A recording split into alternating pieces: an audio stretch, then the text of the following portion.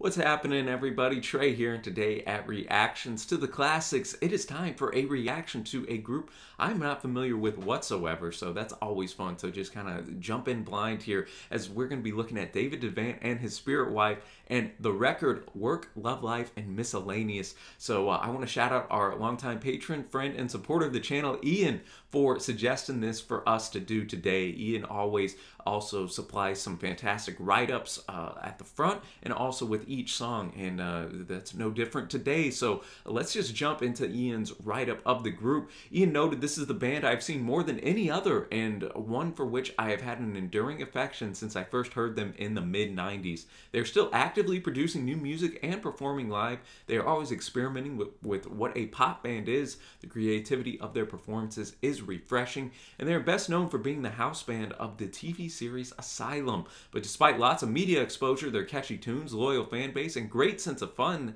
they have never been commercially successful. Odd for a pop rock band to be so unpopular, but me and my friends from college, which uh, for us in the States is going to be 11th and 12th grade, uh, not uh, the proper college, which is, I know, university um, for uh, a lot of Europe, uh, they loved them back then. Heavily influenced by the Bowie sound, their second album is my favorite musically, but their debut, which we're doing today, Work, Love Life, Miscellaneous, really grabbed me. The songs can be silly and fun, but the melodies are up there with any of the competing 90s bands. And Iain also noted that he was uh, once at a gig at the famous 100 Club in London and chatting to what I thought was another fan, but turned out to be the teenage son of Foz, who was James Foster.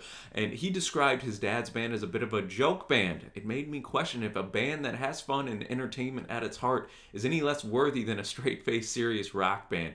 The band has brought massive amounts of enjoyment to me and my friends over the years, and I think the songs stand up artistically. So I would summarize my feelings that they are a fun but uh, not a joke. And this album is the most upbeat of all four of their records, and I hope you all enjoy. Well, uh, that is a great write-up, and uh, you know, kind of firing uh, firing me up here, Iain. And that's a, a, interesting discussion point that we can maybe have later on about uh, the whole you know joke band, fun band, any less uh, you know t- take them any less serious than a, a group that really uh, tries to, to put their serious face on, so to speak. But this album also went to number 70 in the UK, and interestingly enough, I was wondering, okay, David Devant, no nobody in the group's named that. That is uh, the name actually of an English uh, magician and a uh, early film exhibitor, David Devant, who was born in 1868 and died in 1941. So, uh, man, taking it way back here. In the current lineup, we noted the Foz, like each of these guys has a different nickname. So Foz is James Foster, who's on guitar. We have the Colonel, uh, Jim Egerton, who's on bass, and then Professor Rimshot, Graham Carlow, who is on drums. And then our uh, main man is going to be the vessel, Mikey Georgeson, who is on lead vocals, keyboards, and also hops on guitar. So uh, all that to say, man, we're going to get diving into this record, and it's a bit neat because Iain, uh, for four of these, wants us to look at the video, so get a little audio visual experience going up today, and that's what we're actually going to do with the first tune, Ginger here. Uh, Ginger, Iain noted, is a fantastic and most commercially successful song from the band. Not my personal favorite, only giving it a 7, but my favorite part of the song is the video, which captures some of the performance art feeling of their live performances. So we're going to cue that up. I'm going to also have lyrics up for every tune, you know how we do here. And then at the end, uh, give my overall uh, score as well as favorite tracks. And if this gets copywritten on YouTube, there will be a link in the description to Vimeo that has the full video with music. It's sometimes up in the air what gets blocked and what doesn't here on YouTube. But, but uh, all that to say, man, enough talk. I'm looking forward to diving into this. Thanks again to Iain, and uh, let's kick this off with Ginger.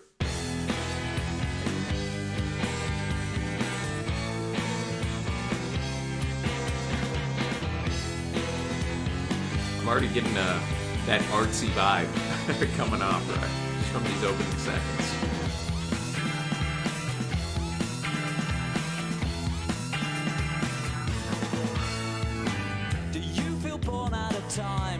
The world seem behind you? You must be ginger, and when you walk down the street, do people tread on your heels? That authentic British voice right there.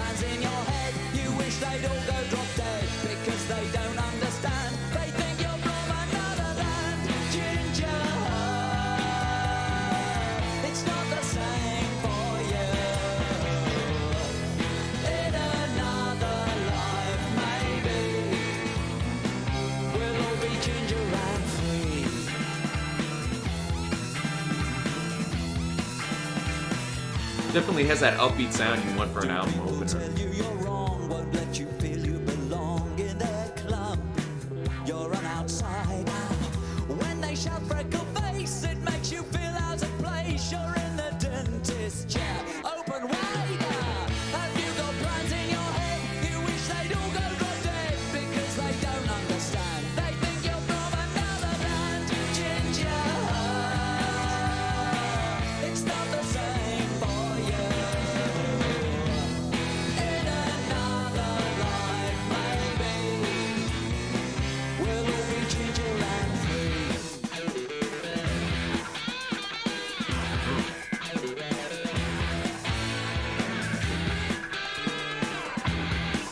Getting after it. Oh, now we're grating some cheese over this man's head.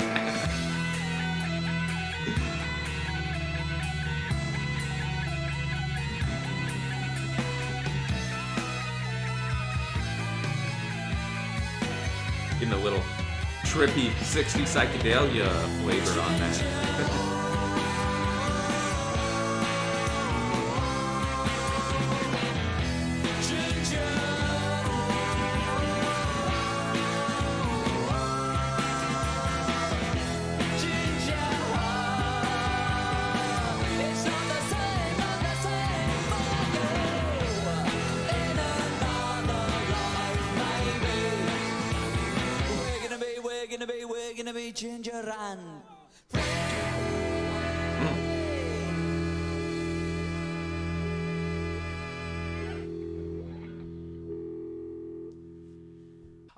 Ginger kicking us off here, and uh, I, I loved loved that video and how artsy it was, splitting up into the quadrants towards the end. It gave a bit of a, a 60s psychedelia throwback feel, what you see on Strawberry Fields Forever, or even the cover of uh, Piper at the Gates of Dawn by Floyd.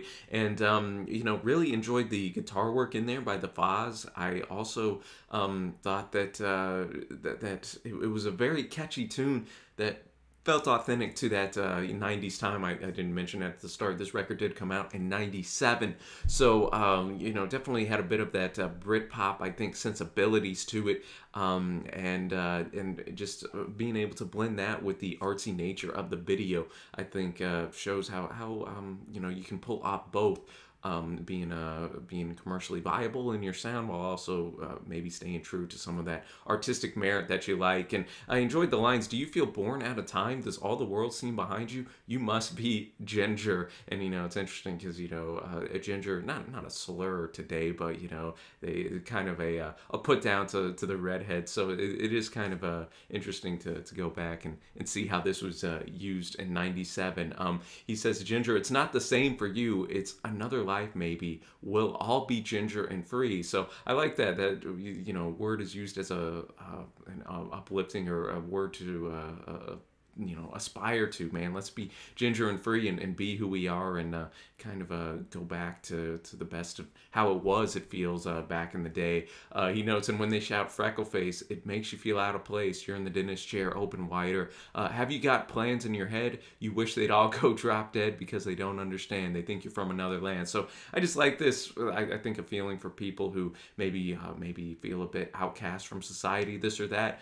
Um, here uh, david devant and company are noting that hey it's it's totally cool and even better to be a bit different man bit out there be a, a bit ginger if you will um, because man that's how you are truly yourself and free. So good way to start this off man and now we're gonna cue up miscellaneous track number two. Iain says the title track love some of the lyrics like people in glass houses seldom throw parties was one lyric that struck me on first listen making me smile and sticking in my head for 25 years. Solid song. Iain's going an eight on this one. Well let's get after it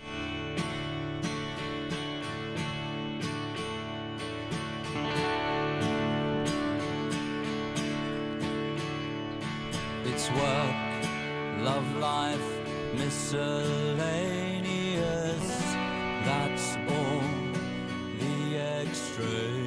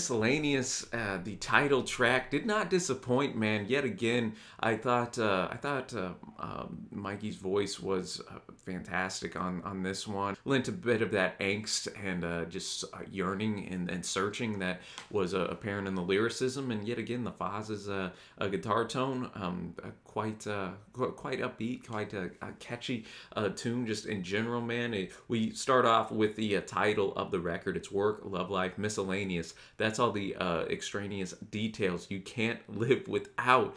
Um, it's up to you which way you place them, but make sure you don't forget one, because if you do, you're going to be found out without a shadow of a doubt. Great rhyming in there, and really playing off that word miscellaneous. You know, you, in, in your life, you got your work, you got your love life, and, and all this miscellaneous stuff surrounding it. Uh, you know, maybe surrounding what's truly important. Uh, some would say in their love life and work.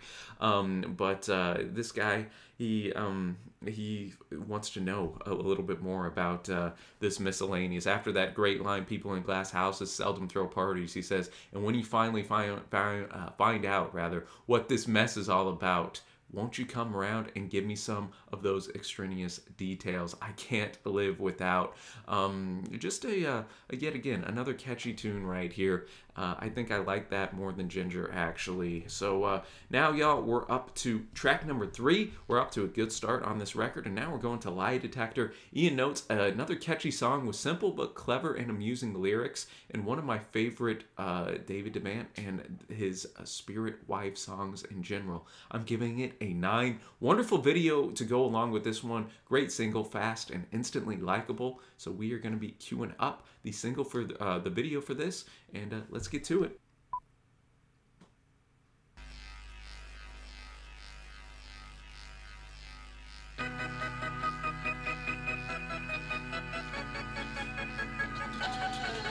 I'm already digging the uh, the color in this video. that orange popping.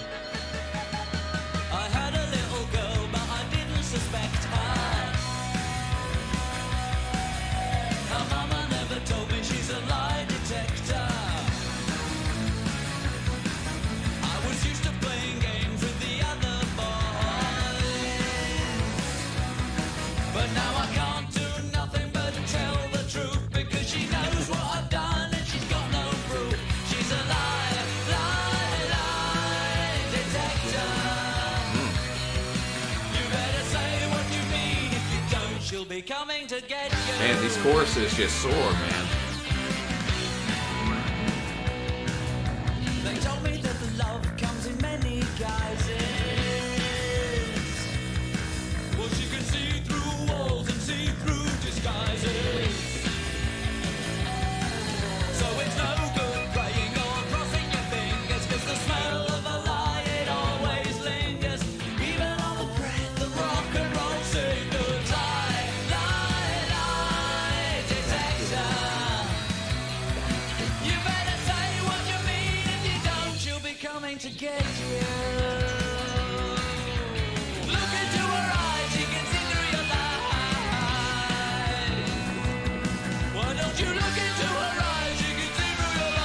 Again, another uh, kind of quirky, artsy video that works well.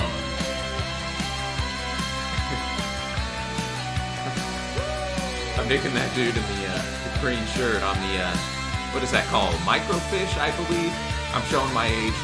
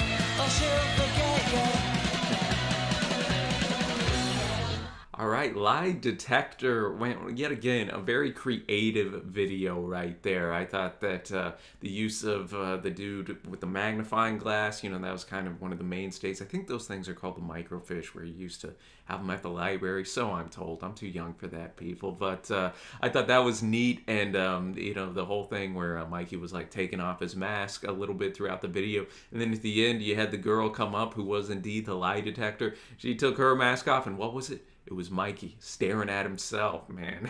I thought I thought that was uh, quite clever and uh, a bit of a twist at the end there. Musically, yet again, very catchy. I'm noticing just three songs in that these choruses uh, are quite uh, are quite soaring and um, just uh, immediately accessible, and uh, one you just can can memorize quite quickly. Very pop centric, and um, I, I just I, I love uh, Mikey's voice on uh, on these tunes as well, man. I think he he brings a, a certain type of charm to these lyrics uh, as well. Um, really, just uh, um, you know, describing this uh, this girl who's a lie detector and is gonna sniff out uh, sniff out any nefarious uh, things that you're uh, saying, pretty much. Um, so, uh, yet again, man, really cool, and I'm glad that uh, we uh, looked at the video for that one. And now we're gonna move on up to the last ever love song. Um, and this one, Iain says, initially this was the only skip song for me on the album, but it grew on me till I quite enjoy it. Only a six, the lyrics more about being in a band that's on its way down, having one last hurrah, and the interesting instrumentation and expansive sound at the end drag it back from the skip realm. So uh, let's see what we got here. It, stirs the it stirs the emotions really.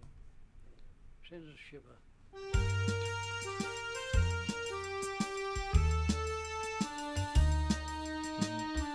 Get a uh, bit of an accordion sound to start us off. Didn't expect that.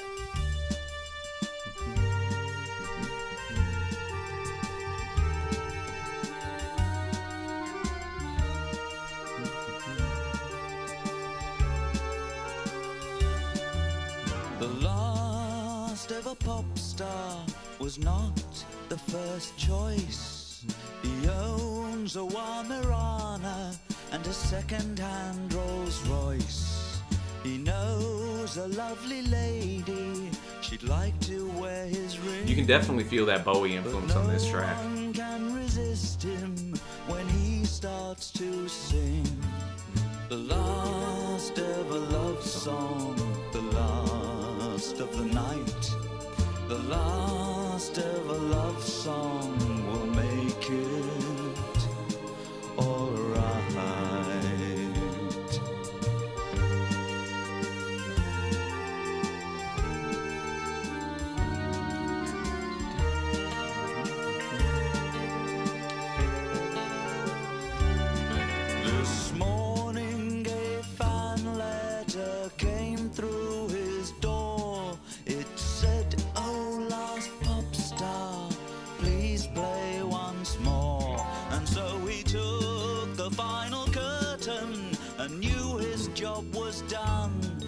The last of a love song was the last number one. That's the last. I am kind of digging this uh, this story from the perspective of a band that's of the night. about to hang them up. You know, Last of a love song one last hurrah, as Iain noted.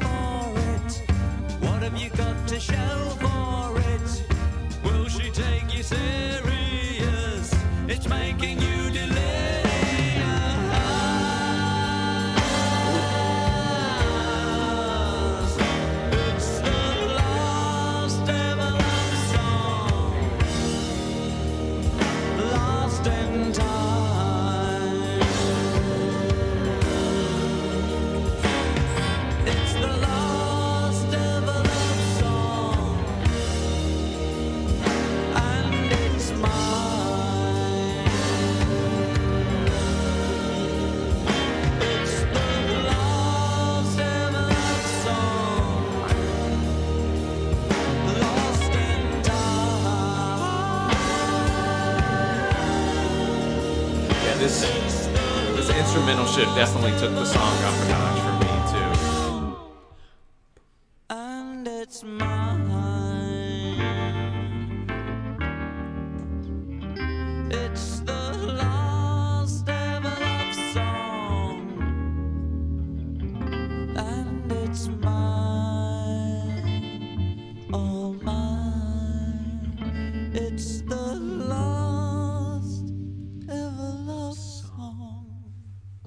The last ever love song. Um, I, I can tell just right off the gate, this is definitely the um, you know biggest one I think could grow on me of these first four uh, tunes. Whereas the first three songs were immediately accessible and uh, very you know pop centric. This you know throws it back. Accordion um, going as almost the main instrument in those first couple minutes before we you know bring back the the guitar uh, heavy and, and the drums heavy, which uh, that last minute really did take the song up a notch for me. Did enjoy the uh, the concept of a, uh, a band that's on its way out, hitting that last ever love song, so to speak. Um, you know, it's uh, because the last ever love song was the last number one. You know, noting getting fan mail, um, you know, saying, "Oh, it, last pop star, please play once more." And so we took the final curtain and knew his job was done. An interesting perspective, especially from a band that themselves were only on their second record. So uh, kind of a unique perspective uh, with that. Uh, won't end up on my favorites or anything, but a bit of a change of pace doesn't uh, doesn't hurt anything on a, a record that's uh, you know 12 songs. You know, we're four songs through in here, kind of took it back a notch, uh, got a bit more serious in tone, and um, you know we'll we'll see uh, we'll see what we got in the coming tunes, man. Because next up we got I think about you, which I know Iain's a massive fan of. He said this track is pure pop perfection, wonderful storytelling and tongue-in-cheek lyrics, and Mikey goes all out with the vocals. The all-in production creates a busy but fantastically over-the-top sound. Uh, yet they still know when and how to strip the sound back. It's a great example of a fun song being brilliant without being overly serious, like a McCartney song at his best, walking the tightrope between the absurd and the sublime. It feels silly to give this a 10, but I can't not and remain true to myself. Hey man, I always tell people, Iain, if it's a 10 to you, it's a 10 to you. You gotta you gotta rep it. So uh, let's uh, see what we got with that right up. I'm excited. I think about you.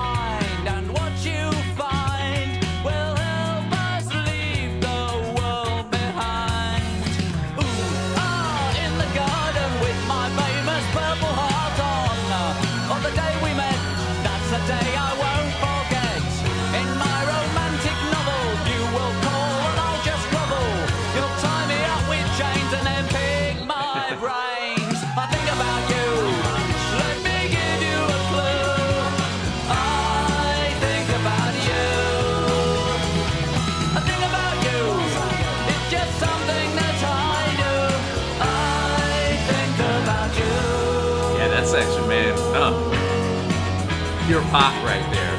So catchy. It's No, I'm not being funny when I call you honey. It's from the heart, so play a part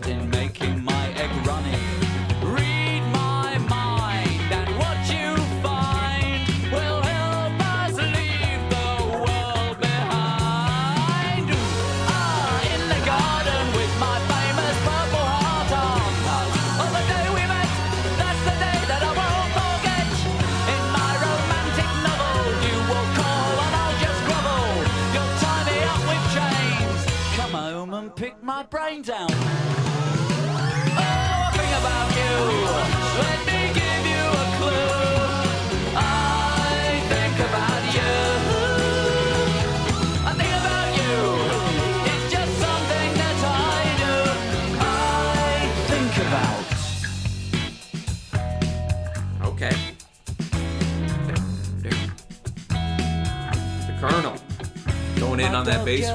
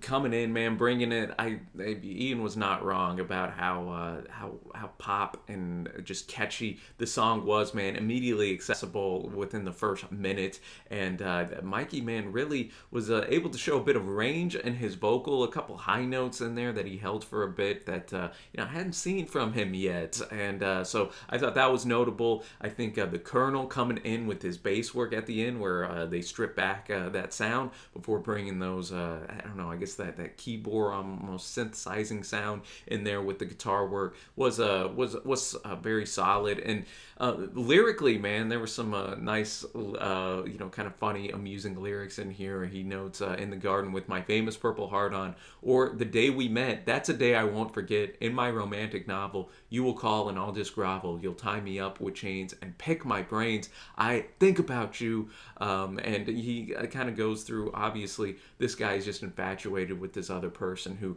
may not be reciprocating that and he notes uh, through there that um, even when his car breaks down he had to run into town. I think about you. His dog just died. My brain is fried but i think about you. You know you kind of have some uh, uh, not morbid lyrics that's a bit too strong but you know the, the stuff's not going well for this dude and yet he's still thinking about this other person and uh, even on holiday somewhere far away I think about you, and uh, you know, mixed with those uh, those keyboards in there, and uh, the Mikey's vocal delivery, man, a very strong uh, song uh, right here that uh, I think very well will end up amongst my favorites. And so now we're gonna go to the longest track on this record by a wide margin. You know, most of these have been in that three and a half minute range. We're gonna go to a seven minute track called Parallel Universe. And Iain notes of this a serious uh, sound for the first 30 seconds, slightly silly lyrics, spirals off into a heavenly ending. This was another grower on me, a solid seven and a half.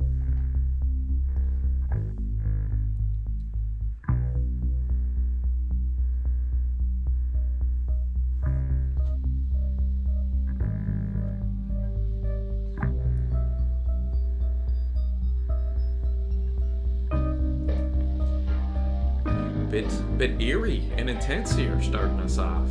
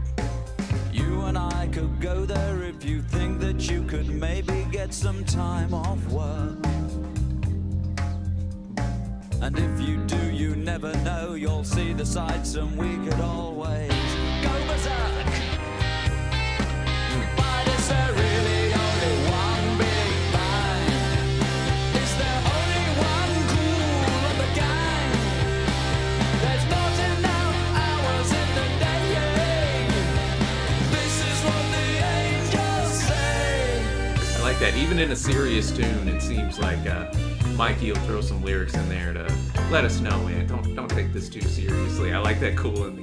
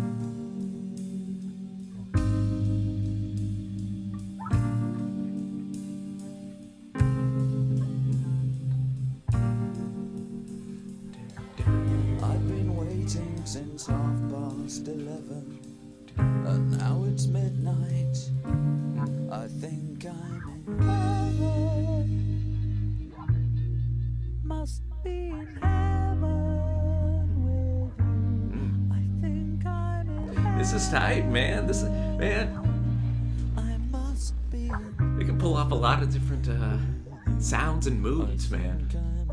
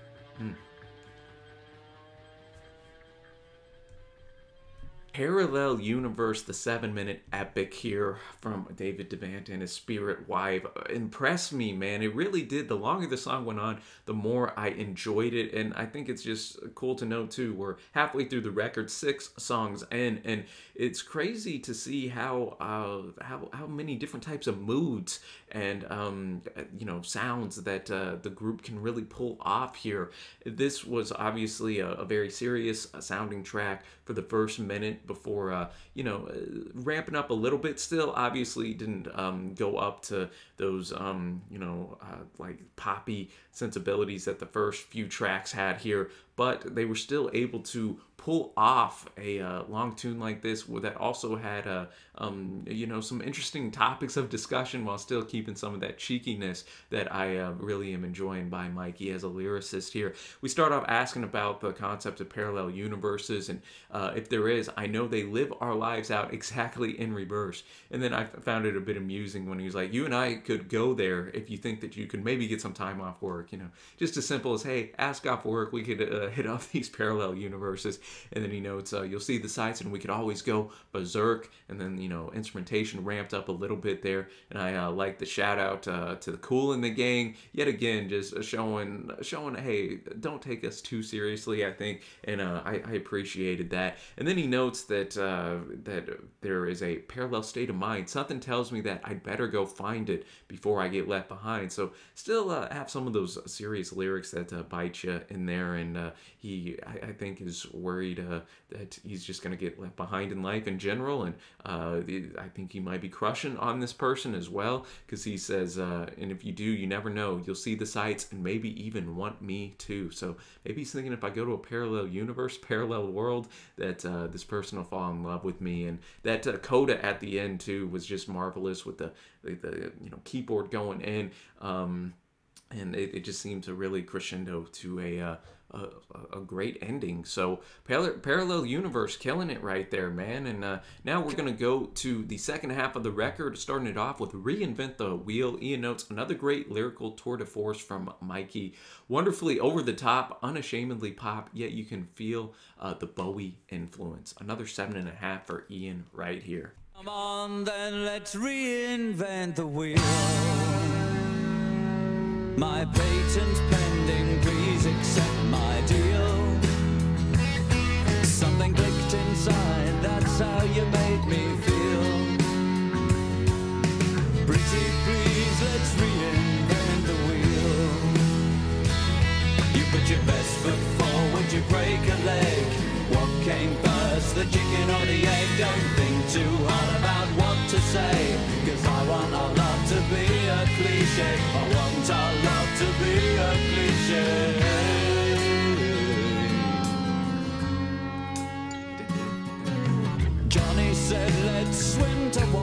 the light.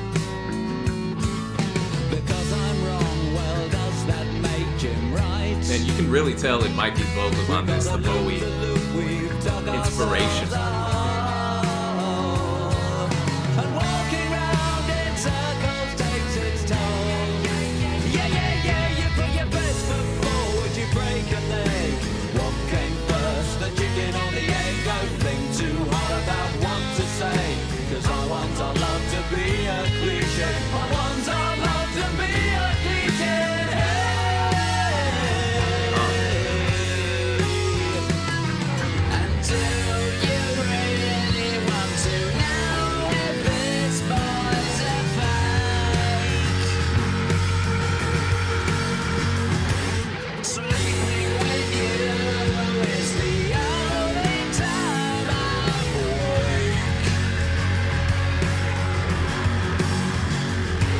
Put your best foot forward, you break a leg. What came first, the chicken or the egg? Don't think too hard about what to say, cause I want our love to be a cliche. I've got some plans they took all night to make. So if it's round, then hey, that's my mistake. Something clicked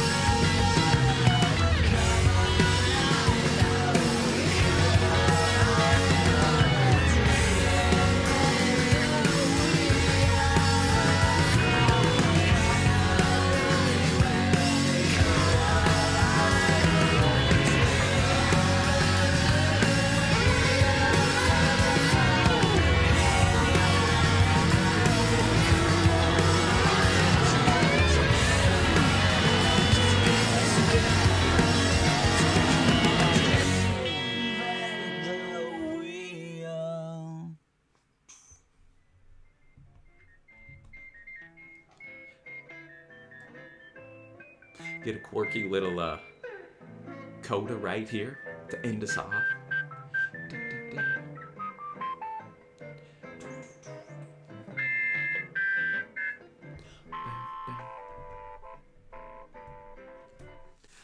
All right, reinvent the wheel coming in, and you know it's interesting to note too. A lot of these songs have, uh, in a roundabout way, been about love and relationship, and yet packaged in a uh, non-cliched manner than you'd expect from a uh, a pop tune. And, and here, yet again, have that uh, pop sound that uh, is just so welcoming.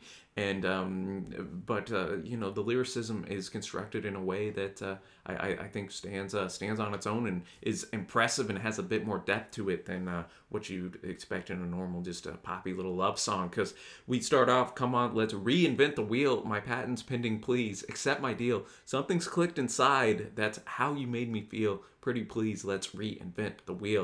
And then we got that really catchy chorus. You know, what came first, the chicken or the egg? Don't think too hard about what to say because I want our love to be a cliche. Here, uh, probably the most Bowie uh, sounding on the vocals from uh, Mikey, and um, you know I could even see Bowie pulling off a, a tune like this, man.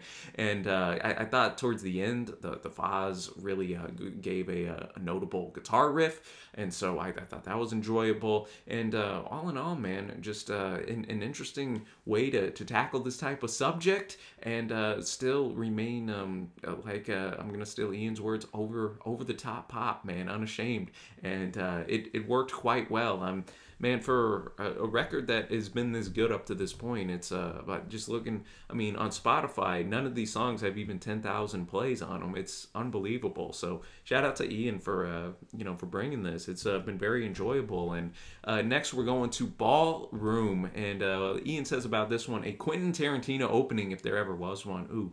You know me, man. I love me some uh, some QT, so I'm curious what uh, we got. A tale of murder and mystery. I'm not sure if they didn't uh, call it uh, Cluedo. Uh, think you uh, call I Clue in the USA for the fear of being sued, but a brilliantly comic song. There was nothing else really quite like this in the mid 90s. It didn't feel like Britpop, even though it was pop. Iain's giving this a 9. So different from even the lighter side of Britpop. Harks back more to Squeeze, Ian Dury, and The Blockheads or Madness. So, uh, man, with some of those names drops, I'm, uh, I'm, I'm, I'm curious. You piqued my curiosity with that write up, Iain. Let's get to it.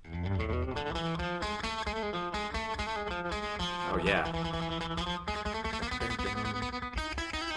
That that Pulp Fiction sound right there.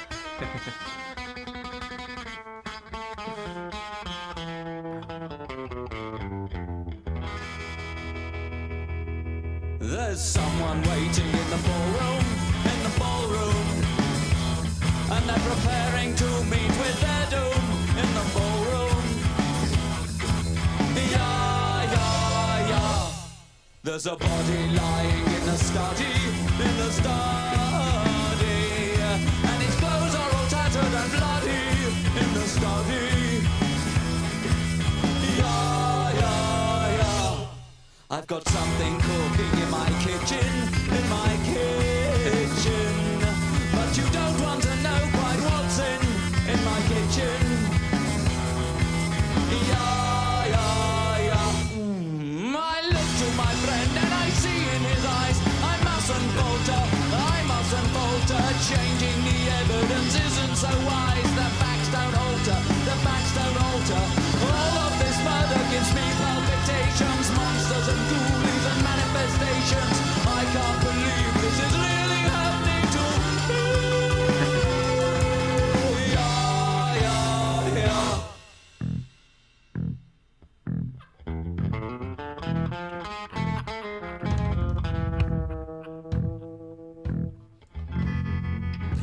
That. Stripping that back, man. The group knows when to do And that, man. Switch things up. Keep it to fresh. Uncle Joe.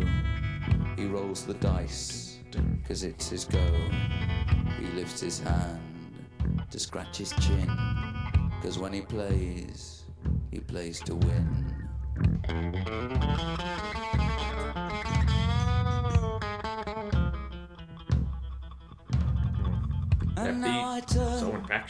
To cousin Sarah. I pull a face to try to scare her. To Uncle Joe, she shows her cards. He says, piss off, let's play charades.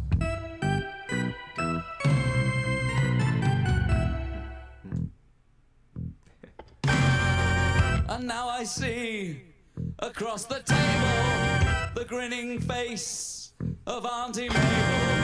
I look at her, my knees go weak, her mouth a tremble. She starts to speak. The tension's building, ladies and gents. It was Miss Scarlet in the ballroom, and she was using. Yeah, she was using.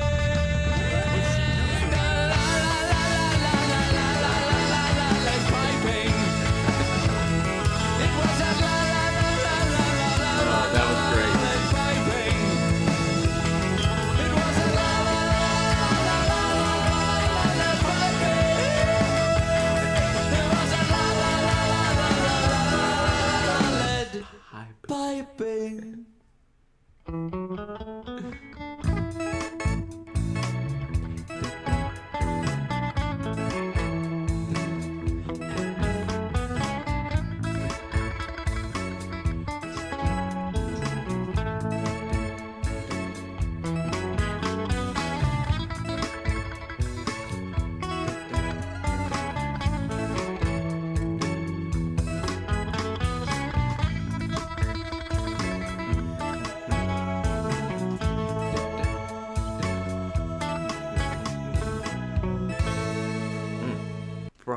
To Ballroom, and uh, yeah, man, as the song was going, yeah, this is definitely a, uh, we, we just call it straight up Clue here in the States, man. It's been ages since I uh, played that game, man, but this uh, harkened me back, and just to, yet again, so creative to construct a song uh, off of playing the, the game of Clue, and uh, man, uh, they, they really made it work for them. I thought the use of the organ in there to give a bit of that uh, uh, uneasy feeling uh, throughout the track was well done. And uh, yet again, Mikey's vocal delivery uh, was a bit quirky and aided into uh, into the, yet again that mysterious type of vibe I think that they were going through throughout this track, and yet still um, had uh, had some some areas that, that were catchy in here. Um, really, then just uh, describing, you know, like oh, there's someone waiting in the ballroom, they're preparing to meet their doom. You know, just uh, you know, initially you think, oh, this is uh, this is like real life. Somebody's really about to get it, and then you know later on we figure out obviously it is the game of Clue,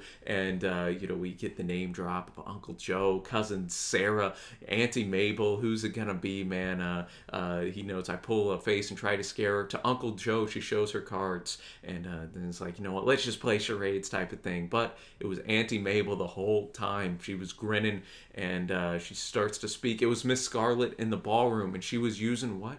she was using the lead piping. I thought that was just so funny, man. The way they were able to con construct that, and uh, it all led up to to uh, the lead piping being the murder weapon at the end, man. And uh, it uh, it that, that was uh, that was well done, man. That was well done. Uh, very unique. Um, unique type of track that you don't see every day, man. So now we uh, are going to This Is For Real, ladies and gentlemen. Iain says this is one of those songs you can remember the lyrics to without trying after a couple of listens. Many boozy evenings have ended in a drunken recital of this. I can only apologize to humanity if this was ever inflicted upon you. I love this song, wonderful ending featuring the bagpipes. Uh, Iain's going a full 10 on this. Another super catchy single, and the single video captures the performance art aspect of the band very well. A great fun story is told in this song. Well, let us cue up this video then. This is for real!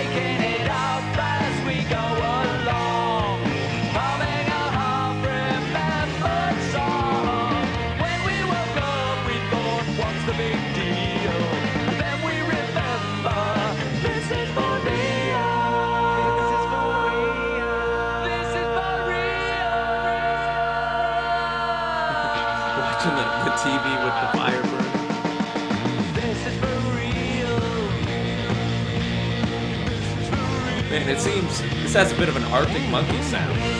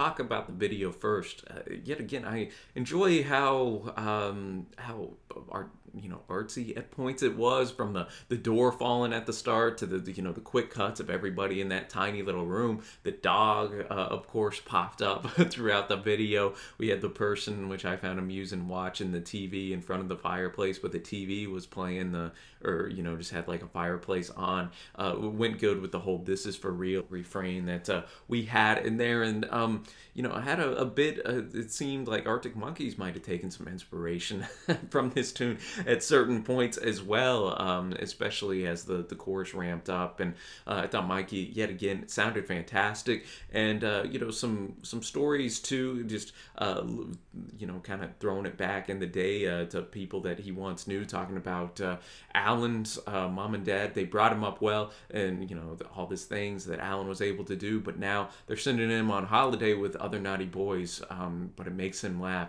and the world laughs with him. Never would have guessed he got it so wrong.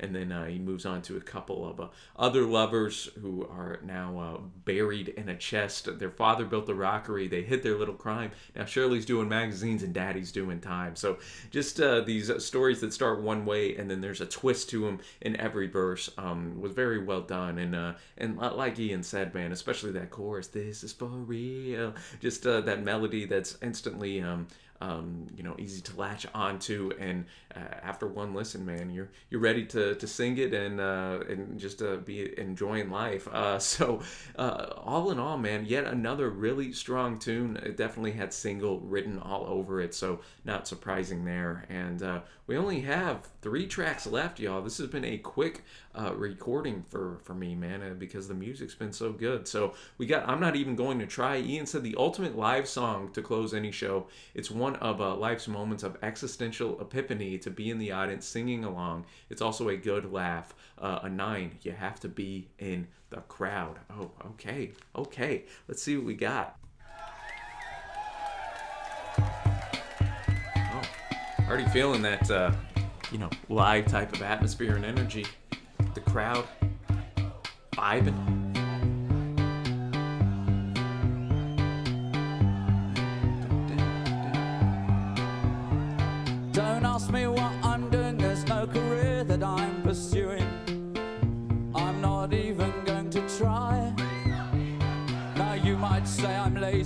But the truth's a little hazy, and you know I wouldn't want to live a lie. Cause I'm not even, I'm not even, I'm not even going to try. I love that call and response with the crowd.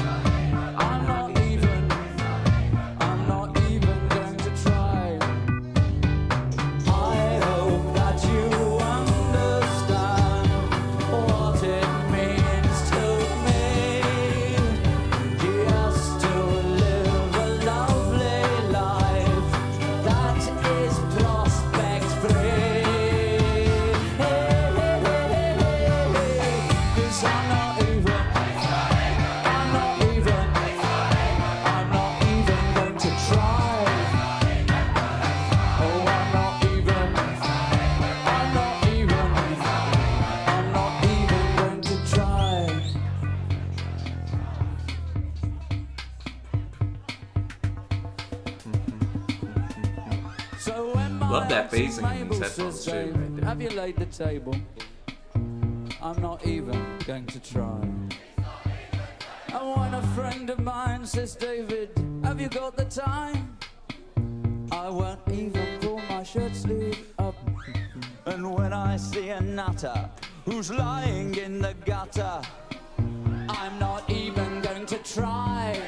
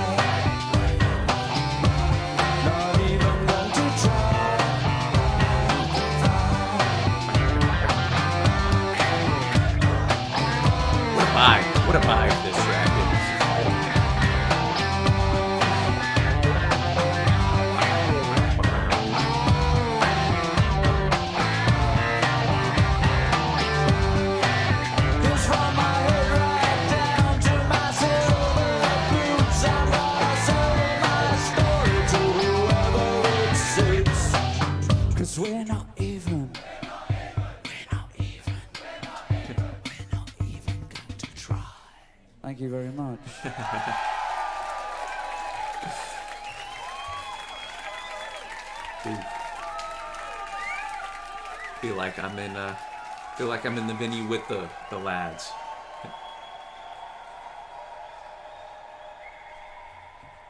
Very unique. I'm not even going to try, which uh, yet again showcases the diversity this record has, uh, uh, framing a uh, live atmosphere here in this tune with the call and response with the crowd. Man, just made it stand as so unique and uh, just cool. Man, this song was a vibe right here, and uh, I do like the just the upfront nature of the lyrics of this guy's. This guy's had it, man, and he's just being honest with everybody I'm not even going to try. And there's a certain freedom, I think, in that that we all uh, respect, even if we wouldn't go down that route ourselves, man. He uh, he, he notes that uh, he doesn't even have a plan. Uh, he says, Now you might say I'm sluggish, but that's a load of rubbish. Who says you got to work until you die? You know, I, I like that. This man's just out here being free, doing what he wants to, and uh, he's he's tired of uh, stopping uh, his tracks for the world and what they want for him. He's to live for himself, man. So I tip my cap to that, and I just, uh, yet again, that live crowd atmosphere, the clapping at the end,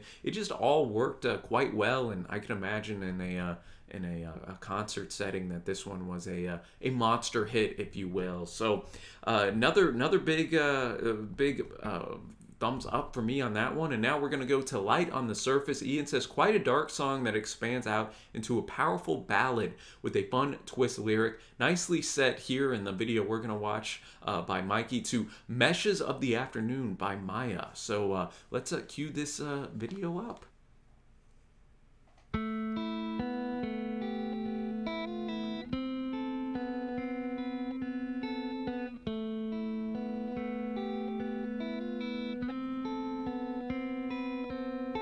A door that never closes on a room where a girl composes tongue twisters on the concept of time. And a carpet is unrolling on which we all are strolling. And a clock that my mother once owned forgets to chime. Hmm. Yeah, this footage, man, with the knife, the black and white, kind of works perfect with the lyrics and the sound we got in this first first section here.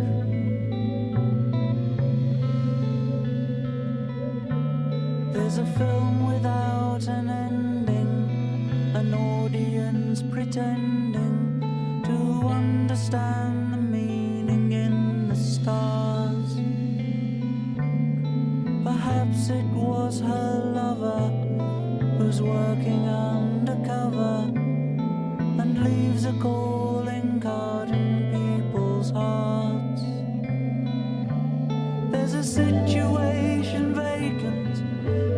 need to earn some bacon, or you just need something to do to pass the time.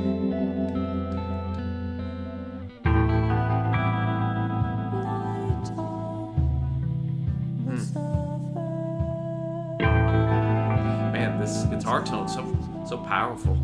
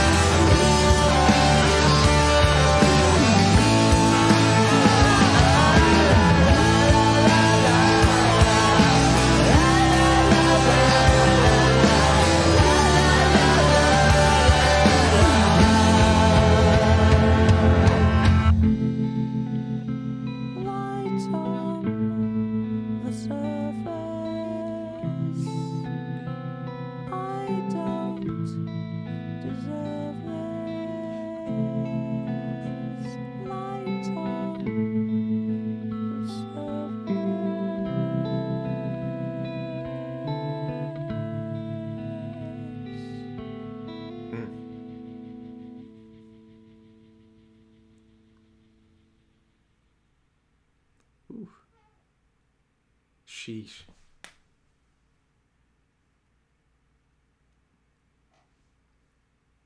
An intense video, ladies and gentlemen. Light on the surface, bringing it, man. And um, yeah, I was just uh, looking after the video ended. That's from a 1943 experimental film. How ahead of its time it was for being 1943, man. We're at the end, uh, you know, the uh, the woman was was dead there with the mirror shattered and everything. So I, I think that uh, worked perfect with the uh, with the song, man. This is gonna, man. This was one of my favorite tracks, to be honest with you. I yet again, I'm gonna harp on the uh, variety that there is in this album here, and uh, yet again showcases how Mikey's voice can work with any type of mood that the group's trying to, you know kind of exude out in in their music here. I thought the the guitar tone, especially um, in the middle of that track, was uh, was quite powerful. Man, just um, there was a, heaviness to the uh, instrumentation throughout that uh, just worked so well for me. Some great one-liners in here, um, saying uh, at the start, "There's a door that never closes on a room where a girl composes, tongue twisters on the concept of time, and a carpet is unrolling on which we all." Are strolling, and the clock that my mother once owned forgets to chime. And uh, you know, we continue on until we get to the uh, the chorus. There's a situation, bacon. If you need to earn some bacon, or you just need something to do to pass the time light on the surface. And that's where uh, mikey really kind of got into that higher register light on the surface. I i think that worked uh, worked fantastic and just set to that uh, set to that film man. It, the the black and white nature just the knife that we see at the start of the ending which was so uh, you know kind of graphic. I mean it just uh, it just uh, really hit home and you know he mentions at the end not being adam's clone and um you know thinking you know Adam, you know, falling in the, the Garden of Eden, and it, just made uh, made you think about some stuff, and I, I just thought it was great, man. I thought it was great, and uh, we are now to the the final track, "Good Night." Ian says a great song to end the album. I remember a magical live performance of this at a pub in Oxford, where the whole audience were singing along with the ah ah ahs, and uh, the end, and then the band lined the stairs out of the gig and shook everyone's hands. I embarrassingly, in my excitement, accidentally hit the vessel with my beer bottle. Fortunately, he's such a nice bloke, so no harm done. Song is pretty simple, one that you need to experience live for the full effect. So only a 7 for Ian here musically. And uh, then at the end, y'all, we'll uh, wrap this album up with uh, Ian's summary as well as mine.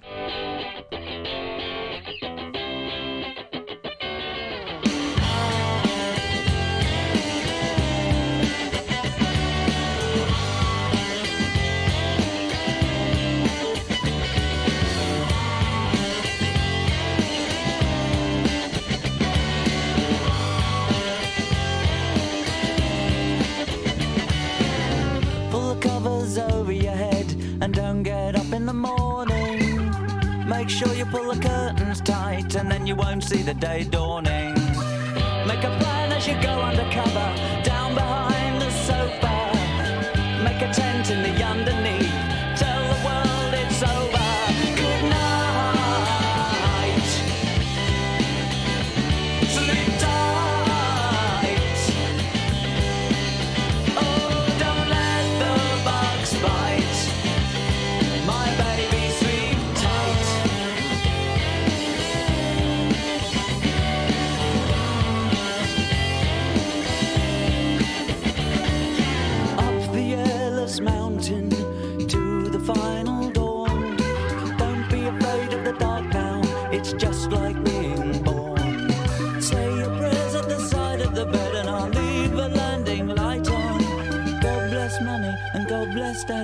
There's no need to be frightened.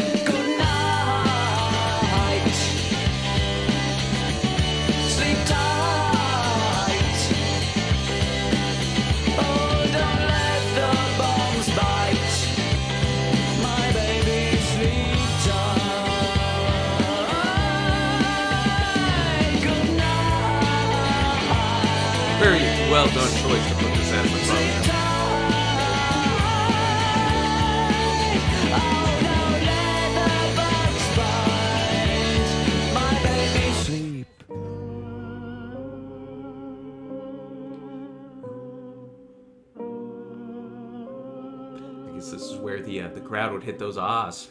Ah.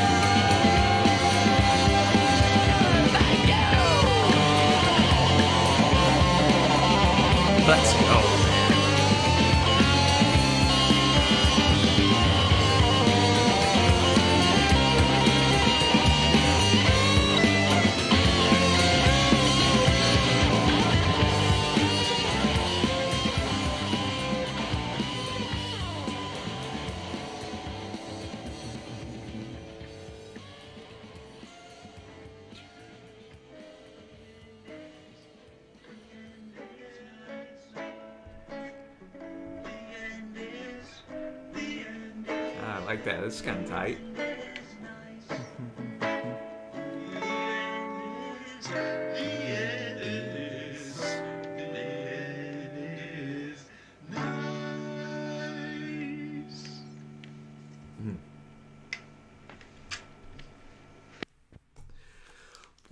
To David Devant and his spirit wife for closing us out with Good Night. Obviously, uh, as the name would suggest, works as that closer, man. A little uh, um, kind of a play off of that old school nursery rhyme, you know, good night, sleep tight, don't let the bed bugs bite. Uh, that gets name dropped in here, man. A good imagery, of course, and um, I, again, I like that ah section that stripped everything back before we really, uh, right at three minutes, boom, the guitar came energetic back in. Uh, a bit of that use of the wah wah pedal, it uh, sounded like, and um, uh, before we faded out, and then faded uh, again to a little uh, uh, acoustic, um, you know, very lo-fi type of a coda to end us out with the last 20 seconds or so. Um, man, not song pretty self-explanatory, man. I think it worked well as a closer, and now uh, that'll take us to uh, the final thoughts of the record. I'm going to start with Ian's first. His summary. He said, I feel that the uh, glamorous theatrics of Pulp and the big orchestral sound of My Life Story are the closest contemporary comparison, while drawing on the glam rock look and sound of early Bowie and the lyrical inspiration of Ian uh, Dury and The Blockhead. But what do I know? This was number 18 on my favorite albums of all time, and I highly commend it to anyone with an open mind. David Devant and his spirit wife are infectious pop joy and have a wonderful set of fans who make every gig uh, live up to the band's catchphrase, all done by kindness. Well said there, Ian. And for my favorite tunes on here, I'll just go kind of in order when they appeared. I'm gonna go Lie Detector. I think the video was really uh, clever on that as well, man. I loved uh, the the woman taking off the mask, and uh, hey, man, it was uh, it was Mikey the whole time. Uh, I'm gonna also go Parallel Universe, the long track. I thought it made the best use of uh, those seven minutes, man. I didn't know going into it just compared to what we previously had heard. You know, those three and a half minute pop tunes, but they impressed me there. I'm gonna go with this is for real. Uh, also, light on the surface. I'm not even going to try. I thought the second half of the record uh, actually rivaled the uh, the first half. Um, so all in all, man, a lovely little record right here that showcased a lot of different styles while still uh, seeming to have a uh, a consistent theme and heart uh, to the band that exuded some some fun. Um, that didn't take itself too seriously, even when they were talking about serious subjects, and that's a that's a tough line to, to toe, so to speak. I thought Mikey's voice was uh, pretty adaptable to a lot of these different styles as well. Great hooks. Uh, the guitar work by the Foz was uh, pretty notable as well. Catchy riffs that you need in those soaring choruses, especially in the first half of the record. Great bass work too by the Colonel, and uh, all in all, man, a, a quite quite impressive album for a band I hadn't even never heard of. This is one of those where you're happy to have those patrons in the community, man, that can introduce uh, you to something that you likely would not have come across. And uh, hopefully, uh, y'all dug it as well and uh, can get it out to a wider audience. So for me, man, on first listen, I'm going a very strong 825 on this. This was a very impressive record. It was excellent and one that uh, one that'll be on my wish list, man. If I uh, somehow see it here in a CD stores here in Texas, hopefully. But uh, yet again, man, be sure to give Ian some love in the comments for suggesting this to us. Shout out to David Devant and his spirit wife for uh, bringing in a great record with this. And let me know your thoughts on the band and this uh, this record and your favorite songs by them in general. I always love to hear from you all.